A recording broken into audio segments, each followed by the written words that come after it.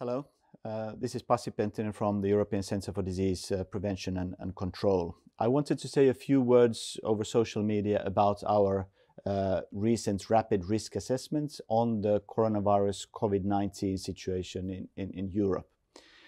The situation has evolved extremely rapidly in the past few weeks. Um, from a situation of some introduced cases and clusters in Europe to a situation where several countries in Europe are facing um, healthcare pressures and, and big pressures in their intensive care at the moment.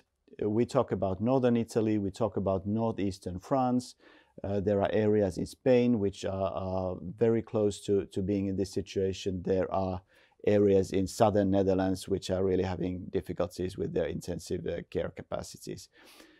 But we're all in the same boat with, with this situation. If you look at the trajectory of the disease, uh, the way it transmits, from person to person through droplets or through direct contact.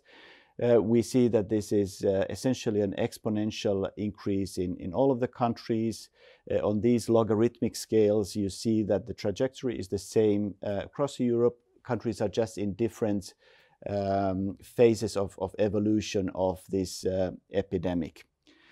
Uh, so in our risk assessments, we address the, the risk for, for European citizens. We consider that for the general population, the risk currently is moderate, but for the populations in the high risk groups, the elderly and those with chronic uh, underlying conditions, the risk is very high um, currently. Uh, we advise uh, European Union member states to take uh, measures immediately.